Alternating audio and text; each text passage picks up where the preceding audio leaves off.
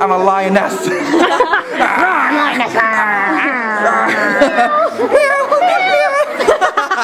This is why we can't have nice things.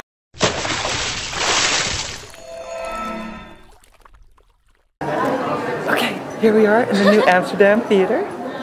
We got Sarah, no Angeli, but we got Emily, no Replacement. Sasa. and so here we are in the theater. So we are taking a tour, and the show is actually closing in like two weeks. So this is the last time we're ever going to see that stage in that form. So we listened to her talk, and now we are taking It was actually pictures. really interesting. Yeah, we learned how. Bert does his upside down walk along that. We're not gonna tell you. Yeah, we can't tell you that because it's it's a secret that we paid seventy-five dollars for. It's true. Pay your own seventy-five dollars.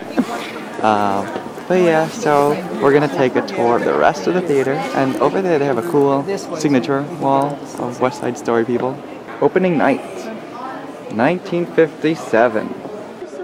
And here's the floor, and there's the pit. Pit, pit, pit. Can you record the pit? Well, I just did. I mean, done. It's been, it's been done. So We're not allowed to record a lot of things in here, so for the most part, this camera has to stay forward.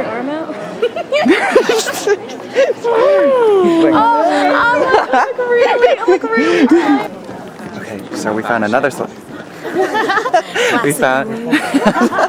you can't say classic Emily for yourself. Okay, so she just did. Okay, so we found a, we found an, we found another celebrity wall. So here we have. Um, I forgot who she said. Um, there's Paula Deen. There's a supercalifragilisticexpialidocious person. Meredith Vieira was right there. Oh, there's Scotty Rippon. Donny Osmond. Look, it looked like it was Ronald McDonald. Which one? This one. Love Ronald McDonald. I'll take video. Right? Yeah. Wait, now I'm confused. He exists. Here's a little tiny hallway. Okay, we are in the prop room now, so we get to video everything in here. Look! It's a Aw. stampede. Um, that's scary. That's terrifying. Oh my gosh, the costumes. Do you remember the commercials for this? Yeah, Do you remember those? what? Copyrighted music, you can't sing that. No, it's like 10 seconds long. This is the rose that they use in every single performance of the show on Broadway. This is the one that would drop its petals every single evening. But you can guess who wears this in the show? Belle. No, no, no. one of these boots in the show. And if you look at it, it looks like a regular black leather, unwieldy, heavy, disgusting boot with some pretty ugly toes coming out on the front. But things are not always what they seem, particularly in theater. This is a leather spat surrounding a black athletic shoe. So do you see how Beast could have run a marathon in his big old boot and he would have been arch supported all the way? Now you're seeing the show tonight, but this is what you're going to see except it's going to be life size when you get there. These are the first two floors. We saw that. This is the piece that was over your head, the nursery piece. So this is the exterior. And you can see how much detail they get in these maquettes. The model makers have a field day with these things sometimes. They get very, very, very detailed. Even the vase that's sitting up here is represented. So we'll talk a little bit more about some of these artifacts as we go. If you want to step over here with me to Aida, these are some of the headpieces that the women wear. This is our scarab head. So if you've ever wanted to see Egyptian cockroaches, this is what they look like. So that's just a little brief bit about Aida, and then we'll move over to Tarzan. Did everybody know that Tarzan was a Broadway musical for Disney? Yep. Not a lot of people know that, but this group I would expect to be a little hipper. So not, it was kind of a minimalistic set, and these green strings represent these vines. So these are some of the ones that were actually used in the show. You're welcome to look through these things as we go. We're going to move over to Little Mermaid next. Then she gets up on land and she goes and takes a bath in Prince Eric's, Eric's palace, and this is the actual bathtub where she sings Beyond My Wildest Dreams. Now imagine you're a few feet away. It reads a little bit better when you're seated in a Broadway theater. When you're up close to it, it, it, it doesn't look quite as good, but things read better from a distance. First of all, if you will imagine that there's a big copper dome over Sebastian, so you don't see him. Okay, so imagine that's there. You can't see Sebastian. Chef comes out, pushing the cart from this side, singing La Poisson, La Poisson, be our guest, be our guest. And as you look at the cart, it looks like it's empty on the bottom. Can everybody see the bottom? Mm-hmm. How it looks like it's empty? It's actually not. Can you find the mirror down there? There's a mirror that cuts this cart on a 45 degree angle. You've heard the phrase smoke and mirrors? This is how they do some of the magic. So that just kind of reflects the front of the cart.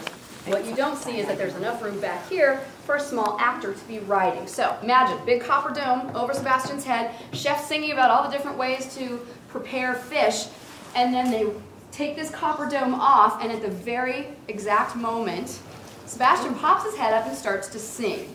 So there's a couple different things happening here. First off, there's an actor riding back here that operates the puppet. Secondly, the actor who plays Sebastian is off stage singing into his personal microphone. So that's how that moment works. And if you just look at the cart, it looks empty, but things are not always what they seem.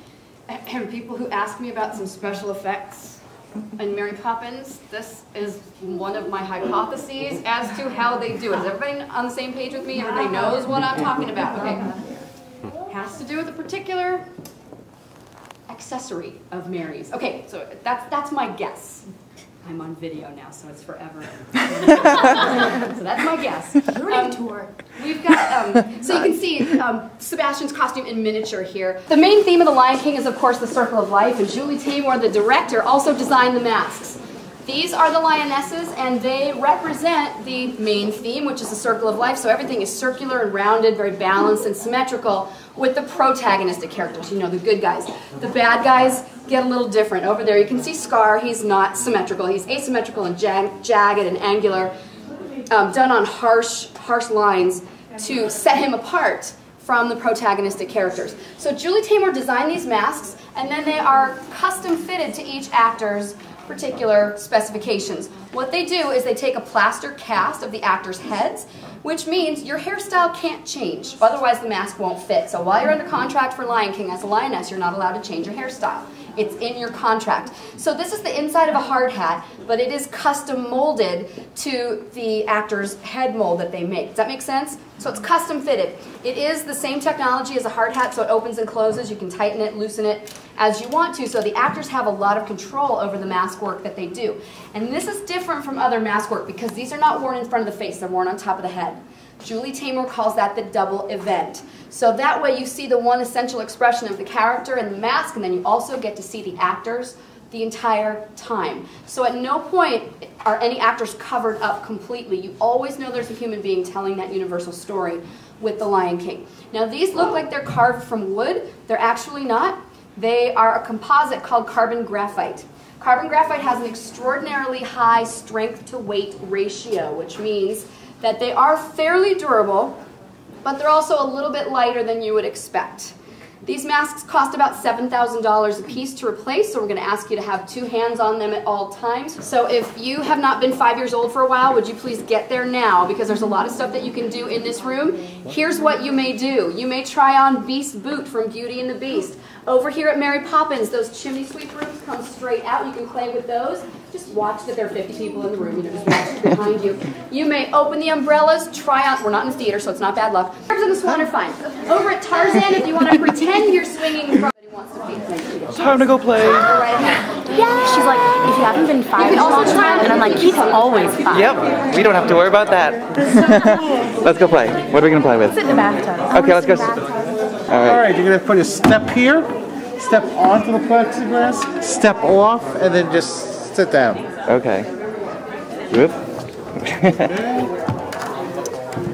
Very good. Okay. Um, Emily, what, no, you have an iPhone 4S. I'm in a tub. No, no. Use the five. You can use the five. So annoying. That keeps being annoying. keeps being. Very good. and you can hold a fish friend too if you want. Those What? Do the obnoxious one, Emily. Hurry up, Emily. Get out of the tub. Get out of the tub now. Get out of the tub. Here's the menu. Le menu. Nothing. Everything. Hold one on. It's all free. Entree. Appetizer. Lapin egg. Lapin d'egg. Lapin. That means that means rabbit. what was that, Emily? What was that one? what? What was that one? What? It's it's bourré figun. Oh oh I see. Oh. There might be lice on it. I mean, there are bugs on it already. so I mean, you know, it's not like you're risking anything. Come on, put it on. I want to put on the swan. There's a lice on the swan.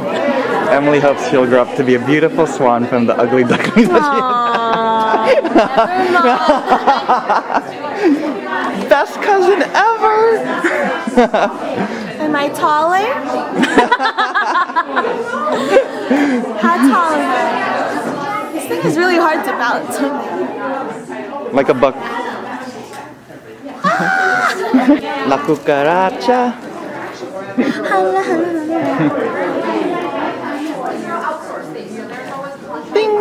I don't think Chevy could touch this. Well, you've been caught on camera. It happened. It happened. It's the rose. I wonder how it's. I was expecting more. Want to try the boot on? Not really. I know when she said that, I was like, he's not gonna do that. Look, that's disgusting.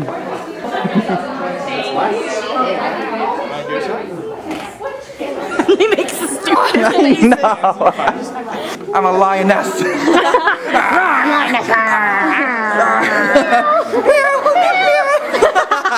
This is why we can't have nice things. Does anybody have any questions before we take off? Did everyone have a good time? Excellent. Well, make sure you've got all your personal belongings with you. Make sure all of the Disney stuff stays here. and we will uh, exit the theater. I have collected my personal belongings. I have found new personal belongings. Personally, I think these should be my belongings. And we are now out. So thank you again to. Kimberly! right. Entirely welcome. Have a great day and enjoy the show tonight. Thank you. Bye. Video's done. So thank you guys for watching.